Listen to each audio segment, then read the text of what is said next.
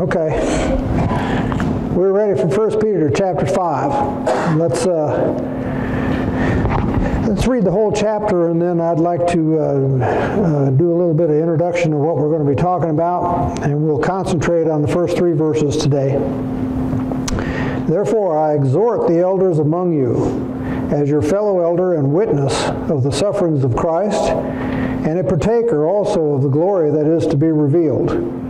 Shepherd the flock of God among you, exercising oversight not under compulsion, but voluntarily according to the will of God, and not for sordid gain, but with eagerness. Nor yet is lording it over those allotted to your charge, but providing to be but proving to be examples to the flock. And when the chief shepherd appears, you will receive the unfading crown of glory. You younger men, likewise, be subject to your elders. And all of you, clothe yourselves with humility toward one another. For God is opposed to the proud, but gives grace to the humble. Therefore, humble yourselves under the mighty hand of God, that he may exalt you at the proper time, casting all your anxiety on him because he cares for you. Be of sober spirit. Be on the alert. Your adversary, the devil, prowls around like a roaring lion, seeking someone to devour. But resist him, firm in your faith, knowing that the same experience of suffering are being accomplished by your brethren who are in the world.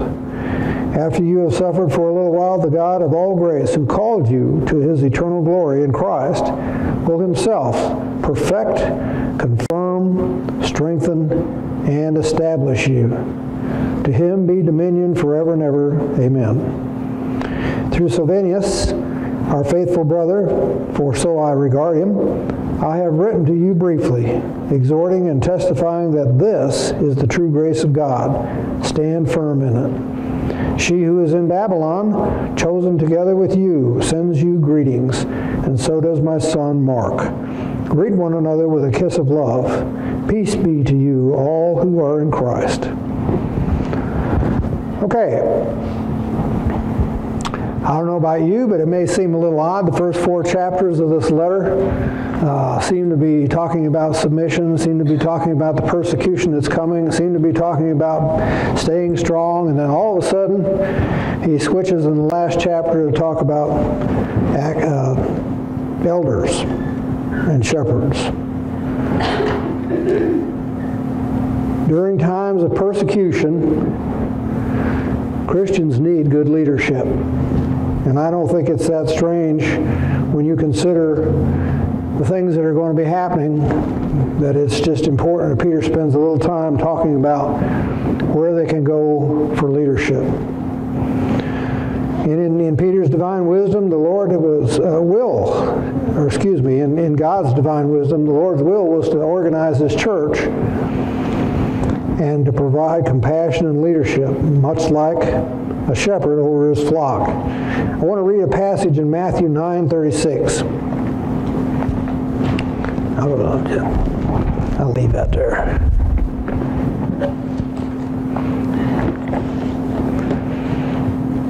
Matthew 9:36. This is uh, this is Jesus. And starting in verse 35, it says, God was going, excuse me, Jesus was going through all the cities and villages, teaching in their synagogues and proclaiming the gospel of the kingdom and healing every kind of disease and every kind of sickness. In verse 36, seeing the people, he felt compassion for them because they were distressed and dispirited like sheep without a shepherd. Did the children of Israel not have leadership? They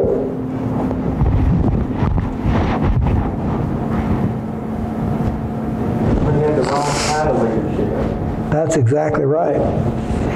They had leaders that, that didn't what? Well, they were greedy and wanting power, uh, friendship with Rome, and congregation was culture, the, you know, the people that would keep them secure. They were more interested in the trappings of the role, weren't they? They were more interested in, in, in being seen uh, by, by their fellow Jews as someone special.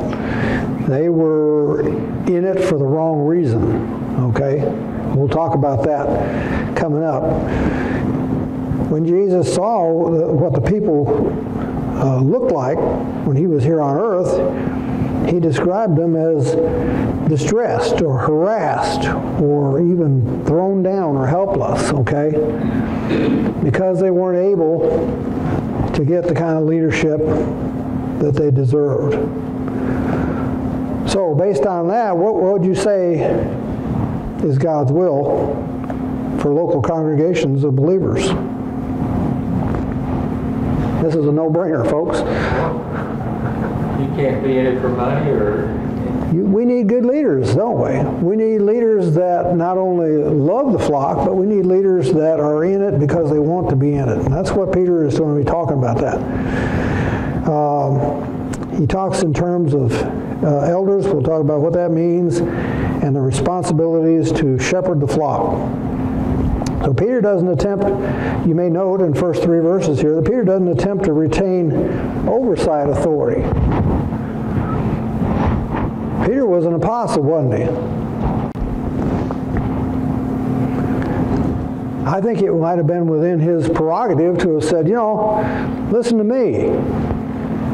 I've walked with Jesus. I've heard his teachings personally. I know that he's a man, he is the Son of God. He is he is someone that, that we should look up to and emulate. And so Peter, to me, seems like he could have just as easily said, you know, listen to me.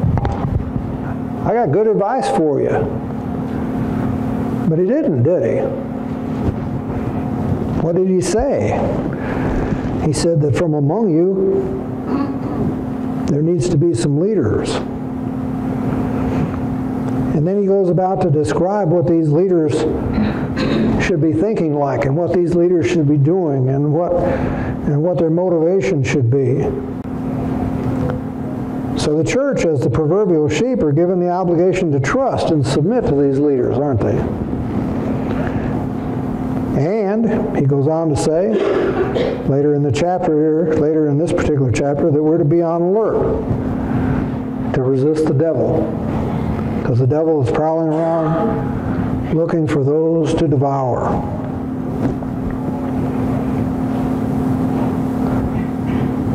My translation says in verse 2, tend, nurture, guard, and guide, and fold the flock of God that is your responsibility.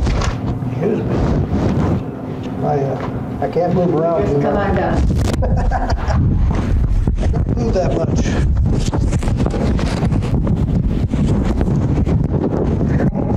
Okay. Yes. Yes. We are going to talk about that. We're going to talk because to me, I know I don't know if, if you see it, but these first three cha- these first three verses of this chapter uh, put out an awful lot of information that we tend to kind of gloss over. So, Peter writes these instructions for elders who would serve as shepherds of God's flock. Where does he say these shepherds? Well, let me, let me wait a minute. I skipped something here. Um, what are the qualifications Peter has when he, to, to write the things that he writes?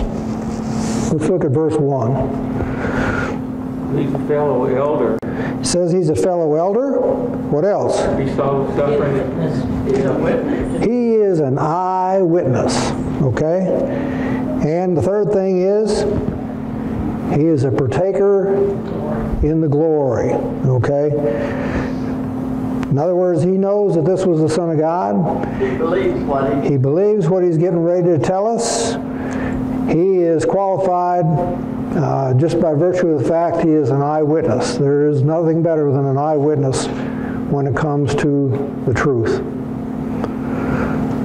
So he's coming, he's coming to them not, not as an apostle that is dictating what they should be doing. He's coming to them as a fellow elder. And I think there's a key there that, that we shouldn't skip over. Because Peter is, is not commanding these elders to step up, is he? He's not saying, you guys should know better. you need to get yourself some leadership in place right now. Instead, what's it say he's doing? He exhorts them. My, ver- my, my, my version says in, in the very first line, I exhort the elders. They're to present patterns and models of Christian living. Absolutely. Absolutely. And we're going to talk about what that pattern is based on. Gail. Was, was Peter an, an elder over any particular congregation, was he Well, we're going to, we're, a different sense than the elders that we're, hear their own particular? We're going to pick about the terms here, but I think when Peter uses the term elder, he's referring to a mature Christian. I don't think he's referring to an office in the church at this point. He, You were you were asking, weren't you, about his eldership? Was he over congregation? Yeah. I, was wondering about that too. the commentaries I read didn't point out anything specifically in the Bible that said, okay, no, Peter was over a congregation uh, and umpty. Dispersion, he- Yes. I was wondering if he was trying to keep those people together during that time of, I mean, he was the elders.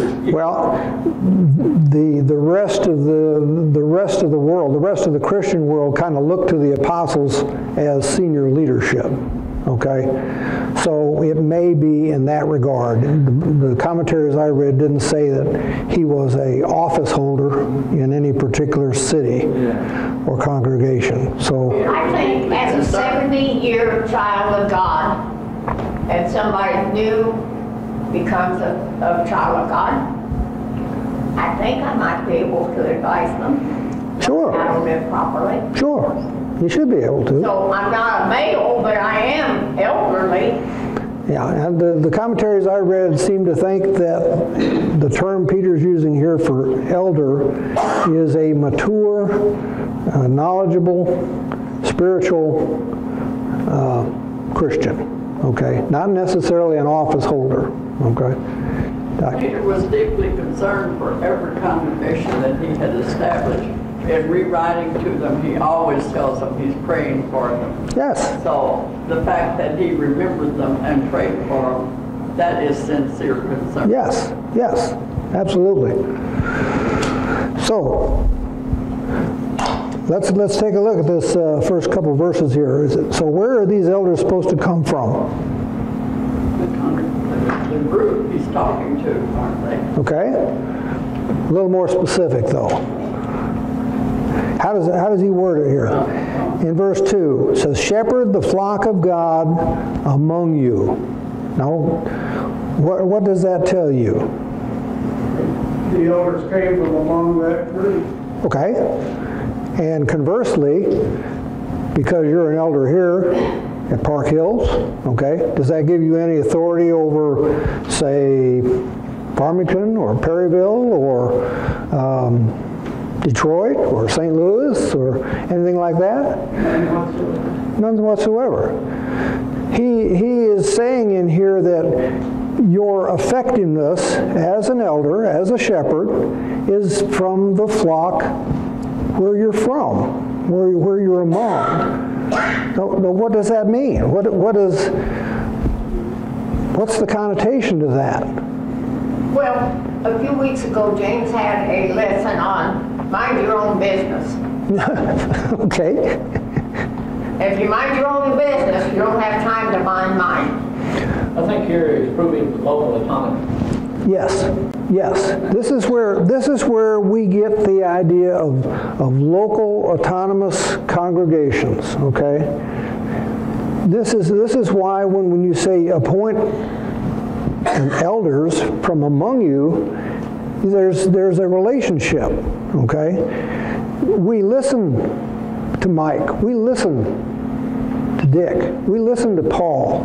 We listen to you because we know you, okay? Much like a shepherd, much like the descriptions in the Bible where the sheep know the shepherd and they trust the shepherd and they realize the shepherd is there for their protection and is there for their feeding, is there for their welfare, okay? And so when Peter just, I mean, when you read these three verses, you think, well, yeah, I know that. You know, this is all stuff we- we're, we're all familiar with. But when you, you start picking it apart, you see that there's a whole lot of meat in these verses, especially these first three verses. So the first thing he says is he, he, he wants these elders to be from among the community of followers. And conversely, like we mentioned here, that means that you have no authority over other communities of Christians. And to me, I see that as harmonious, okay? I see that as a way to minimize the disruptions, okay? If, uh, if you don't like what's going on in another congregation, you know, that's not your responsibility. That's why Paul said in there and keep the unity of the spirit of peace. That's, that's a very good way of doing that, okay? May I read you verse three of my translation? Why, sure. Not domineering or arrogant, dictatorial, overbearing person over those in your charge, but being examples, patterns, models of Christian living to the flock, Absolutely. congregation. Absolutely. But before we get to three, let me say a couple more things about verse two, okay? One of the things that this elder or overseer or um, shepherd that Peter describes here has to do with desires and needs, okay? The desires of the flock should be considered, but the needs of the flock need to be more important to the shepherd. Now, why would I say that? Well, the elder is to serve willingly, not. Absolutely. That's right. And he has to be aware of God's will. That's that, that verse in 2. It says he, he uh, serves not under compulsion, but voluntarily, according to the will of God. So that tells me that this elder should be aware of what the will of God is, right? That tells me that that elder should be familiar with what the Scripture says, and in, in putting it in today's parlance, okay?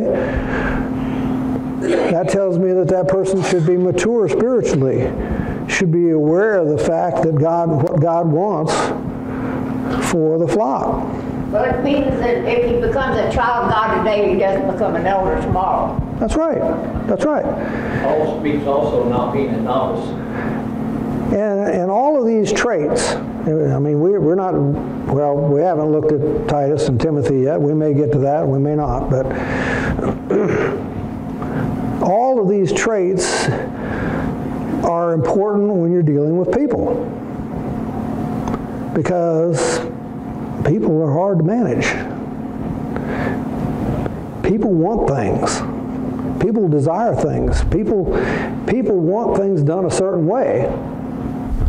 And when, and when, you, when you see the kind of leadership that Peter's describing here, that person should be more interested in the will of God, which is what the congregation needs, as opposed to the desires, the desires of the congregation. Or the okay? glory of the office. Or the glory of the office, absolutely. Oh, the glory of the office. What do you think? That's pretty radical. No, it's not. Where does the controversy come from from leading people when you don't give them what they want?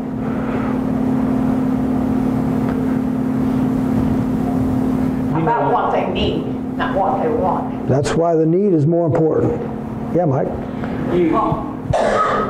Paul in his return communicating with uh, every congregation, he reminds them over and over to remember what he has told them, to stay faithful to what he has told them. Don't let someone tell you otherwise. If they do, they are not your friend, in other words. In that, in, Christian. Yes, in that situation, the things that Peter was telling them represent the kind of things we, we read about in the scriptures now. Because you, you can't just you can't just write off to Amazon and, and log in and, and get a copy of the Bible sent to you to your home. Back then, the way you, you heard about what what the will of God was was when an, an apostle came or a teacher and, and taught you and established congregations in that area. And so, yeah, he, he was trying to feed that flock. He was trying to provide sustenance to them so that they could be prepared for when, when the devil came around and, and uh, was looking to split them apart.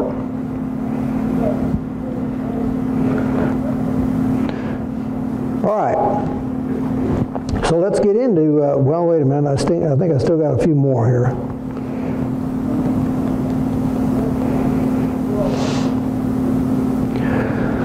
So what is Peter is Peter describing a person, an office, or a leadership style? What do you think? When he when he writes these verses, let's just let's just concentrate on the first four, four verses here, in particular the first three. What is he writing? Is he writing about the office of elders, shepherds, overseers, bishops? Is he writing about a leadership style? What about a combination of all? Very possible. Very possible. We get the relationship to the flock a lot. I think They're about in very difficult circumstances where they weren't organized in buildings like we are. They were scattered in houses around, and so they were very threatened. I think it's a shepherd who's keeping a tight rein in a relationship with all of the people that are in that dispersion that Peter talks about earlier, maybe. there's there's some bleed over into into the office of, of elder, but I think the primary thing Peter's writing about here is a leadership style. Now, what do I mean by a leadership style? Inez is over here shaking her head. She knows exactly what I'm talking about. If you've met Peter in, uh, excuse me, if you've met people in positions of leadership, like I have in my time in the Army, okay, I can tell you of at least three or four different leadership styles that can accomplish the goals, but they may not be the, the appropriate leadership style for that group of people, okay? If you're talking about the military that's used to do things my way, okay, or you, or worse, okay, then then maybe the kind of leader that's dictatorial or leads from an expert position relationship might be the appropriate leader. Okay, do this. I know exactly what I'm doing. I expect you to be at this place at such and such a time. We're going to form up. We're going to get on the rail. We're going to load our vehicles on the railhead. We're going to ship from here to, to Florida. Then we're going to get on a ship, and then we're going to fly over there to, to Germany. We're going to be prepared to fight in seven days. Okay? You may like that type of leadership if you're in the military. All right, here's another kind of leadership. We're all in this together. We're one big happy family. I'm looking for your input. You're looking for my input. We're all part of the team. We're all going to tug together. We're going to meet out front. We're going to go through calisthenics for, for 30 minutes this morning. And then after that, we're going to go just get together and sing a few verses of Kumbaya. And then we're just going to we're just going to go about our day with a big smile on our face and greet our customers on the phone. Happy, happy, happy. I've got this job. Did you see that style in the military? And in between, there's other kinds of leaders, okay? Why does he choose a shepherd style of leadership? Why do you think? Um, the, the end of, uh, but be examples to the flock. Such, the yes. elders. And everybody is to be an example to the flock. We to each other.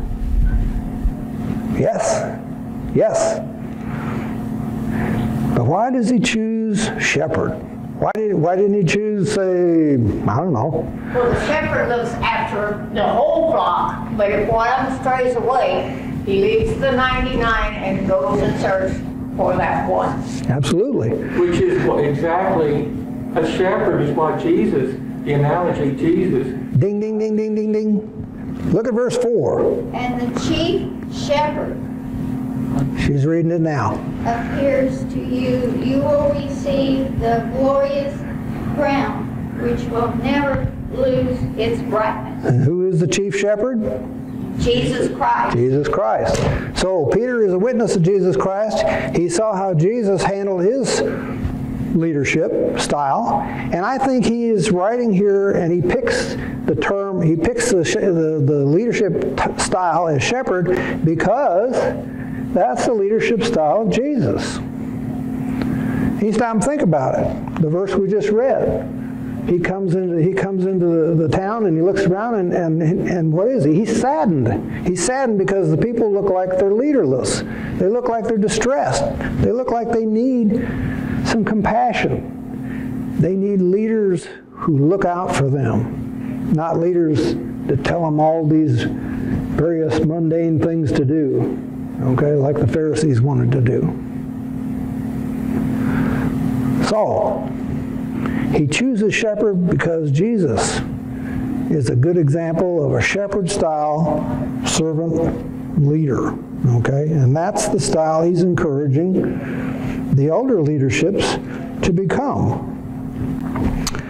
Um, we talked about uh, eldership denoting age and experience and spiritual maturity. The shepherd style is one of caring for sheep, like Inez just read. He's, con- he's concerned about the sheep. He's concerned about uh, the welfare. He's concerned about protecting them. And it goes back to, let's, let's just go back a couple chapters in, in 1 Peter 2, 24, excuse me, 25.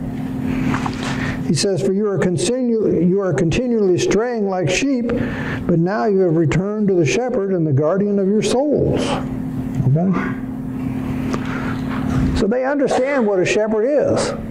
They understand how a shepherd operates. They understand the leadership style of a shepherd. And so he, he is using this analogy to try to get them to see that their leaders should be that style of leader. Now, other translations and other other parts of the Bible, we, we've got 1 Timothy chapter 3, we've got Titus chapter 1. They also use other terms for our leaders, don't they? Terms like overseer, terms like bishop. Okay? Are they different? Different aspects to the office. Different aspects, such as. Well, for example, a shepherd is one who keeps sheep. Yes, Okay, so he treats the sheep in a reasonable way. yes, But also, he's the overseer, and so if they be attacked, he goes and takes care of that situation. He's a protector. Absolutely. I think you're right on target. He's, he's, these various terms come up in, uh, for the position of, of leaders in Christ Church because different flocks need different things, kind of like Bernie's saying. If you have a large flock, a large congregation, how important is delegation? How important is division of, of responsibilities? How important is, is uh, making sure that, I don't know, the valet is out there parking cars? Treated kindly. Yeah, you know, there's a, there's a lot of things. I don't, you know, most of you in this room are, are probably well aware of it here, but um, there's a lot of younger folks that don't know how, how many things are involved in, in just opening up for worship. Okay? If everybody does exactly the same thing, there's a lot of things that don't get done. That's right. That's right. Parking lots don't get scraped. Okay? Sidewalks don't get salted. Communion cups don't get filled up. You know? PowerPoint doesn't get loaded on the computer. The electric bill doesn't get paid. Okay? There's a lot of things that go on to, to operating a facility. Okay? Well, it sounds simple, but this, this Even that. Could and they needed to be out of it, so another person volunteered. Even, even something, even something that looks as simple as this is not simple. okay? You don't ask me to do it. But the difference between a shepherd and an overseer is, is, is I think, uh, in terms of the size of the flock and what the flock needs. Okay, different flocks are in different different positions. Okay, so I see a difference in the leadership style among these words.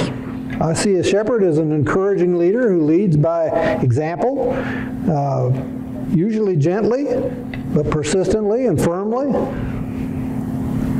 He's guiding and protecting the flock. I see an overseer more as an organized leader who would delegate and appoint sub-managers to accomplish certain goals set for the flock.